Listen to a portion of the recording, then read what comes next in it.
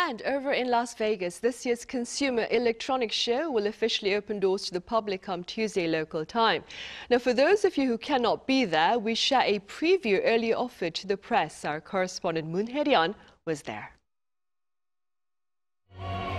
This is the end of the beginning.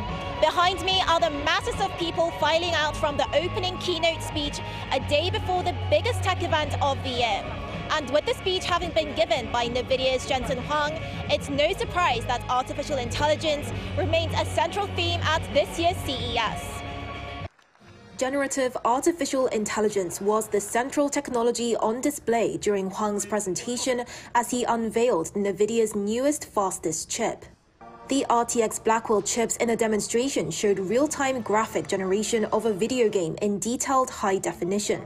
But Huang went on to discuss the endless possibilities of generative AI outside of images and sounds.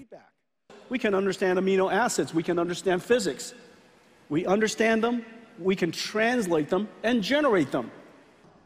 On top of graphic generation, Huang introduced a new AI model to train robots and autonomous vehicles.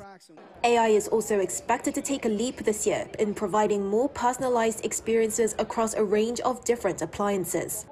An increasingly significant portion of the tech consumer pie now consists of the digitally native Generation Z, meaning that there is now a bigger drive for tech to be aligned with their values, which include sustainability. On the other end of the spectrum, technology centered around senior care is also booming with more personalized experiences across a range of different appliances. Yeah, and I think it's about this idea of AI integration in the next generation of consumer hardware transforms devices like Samsung smartphones with Galaxy AI or HP laptops with their companion on board, LG TVs. And kicking off the series of press conferences a day before CES, LG Electronics showcased its vision to achieve exactly that, under the slogan Less Artificial, More Human. Demonstrations of LG's generative AI powered solutions such as ThinQ On showed how it uses sensors to monitor user behavior and control devices around the home. It goes beyond personalization to what LG has dubbed affectionate intelligence. To create seamless AI powered spaces, LG has partnered with international companies such as Microsoft, as well as renowned figures such as entertainer and entrepreneur will.i.am. And this collaboration between LG and FYI can be summed up in one word two syllables abracadabra. And in Aramaic, it means I create as I speak.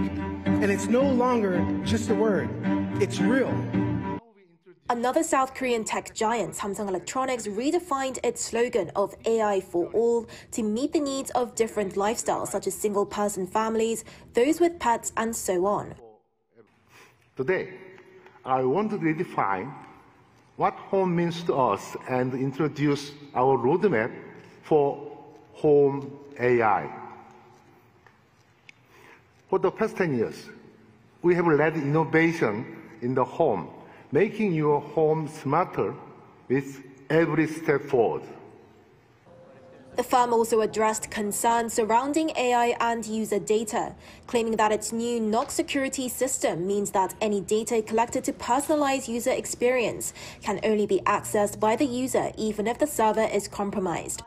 Other than in the home, Samsung Electronics integrates AI in laptops, smartwatches, and rings, combining this year's tech trend of personalized technology coordinated across various hardware to provide an uninterrupted user experience. Moon Arirang News, Las Vegas.